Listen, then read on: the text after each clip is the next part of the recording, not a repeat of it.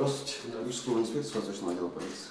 С 14 августа по 30 сентября в городе проходит оперативно-профилактическое мероприятие «Участок». Основная цель – усиление мер по предотвращению нарушений. Во исполнение указаний Министерства внутренних дел Республики Казахстан, а также цели усиления мер по профилактике правонарушений, предупреждений, выявления неблагополучных семей, пресечения нелегальных миграций, нарушения миграционного законодательства, а также выявления лиц, склонных к совершению повторных правонарушений.